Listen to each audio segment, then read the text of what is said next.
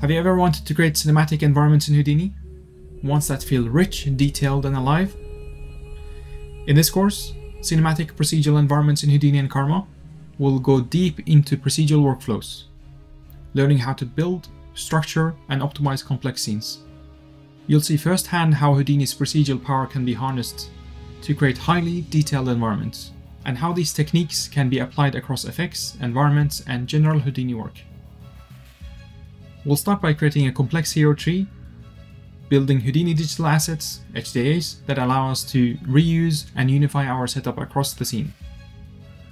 From there, we'll expand our world, applying the same principles to create arches, organic details, and a detailed ground surface.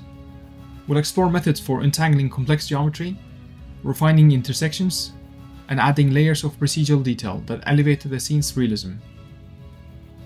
We'll also tackle vegetation and scattered elements, carefully controlling placement and avoiding intersections while integrating simulations and procedural scattering techniques. You learn how to work efficiently with large amount of geometry, using instancing and USD to optimize the scene and keep it manageable. Once our world is built, we'll focus on the cinematic side, lighting, camera work, and rendering in Karma. Finally, we'll bring everything together in Nuke, exploring AOV workflows, deep compositing, and final polish to achieve a professional cinematic result. This course is designed for any Houdini artist. Whether you're an effects artist, an environment artist, or someone looking to deepen your understanding of procedural workflows.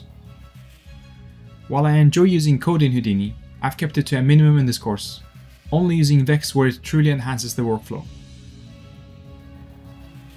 I am Ali Al-Tobi, a VFX lead and a supervisor with over a decade's experience working on projects for Disney, HBO, Amazon, Netflix, Apple, Universal, and so on.